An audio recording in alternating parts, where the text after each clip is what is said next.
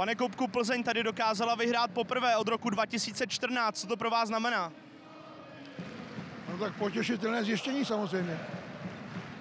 Přece jen ale většinou týmy tady zalezou, hrají defenzivně, ale vy jste zvolili aktivní pojetí. Je to podle vás jediná šance na úspěch?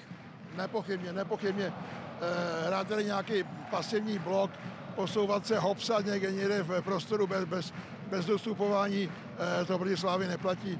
My jsme, my jsme takto chtěli hrát, my jsme to dokázali hrát 90 minut a to je jediný recept, jak uspět, prostě aktivita, pressing, jo, a děj se bude boží.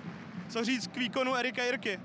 Famozní, famozní. Nejenom dopředu, ale dozadu. Je, prostě, to, je, to je neskutečný běžec jo, a, a e, vydrží to 90 minut ve sprintu. Já jsem takový hráče ještě neviděl. Pochválíte i Jindřicha Staňka, který se vrátil po těžkém zranění a byl dnes znovu klíčovým hráčem. V podstatě neřešil žádnou situaci vyloženou, jenom ta branka byla věc, která Slávy vyšla, jinak jsme pracovali skvěle dozadu, ale působil velmi jistým dojmem.